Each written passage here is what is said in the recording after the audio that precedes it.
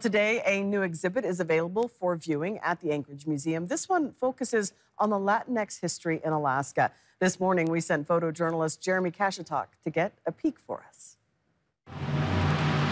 This is our Nuestra Huella exhibition. That means our footprint in English.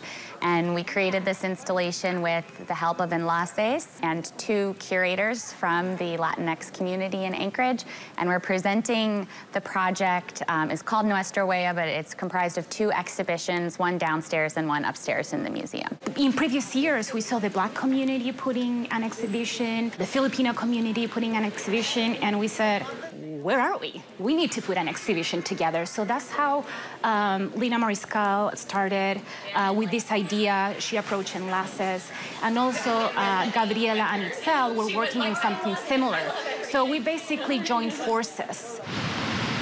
With the help of a lot of community members, I put together a, a timeline of our, of our milestones. And so when, the, when did the first Latino store open? When did the first uh, Latino restaurant open? When did tortillas started being uh, sold in Alaska? When did we started celebrating our patron saints? When did the Spanish programs open? Making archival research, I found, I found very interesting things. We are here, we've been here, and we will be here, contributing to, to the well-being of everyone in the community, helping with our science and knowledge. And yeah, everybody's welcome to, to come and have a, a dialogue with, with the whole community. Now, the exhibit will be on display starting tomorrow and continuing until April 13th, 2025.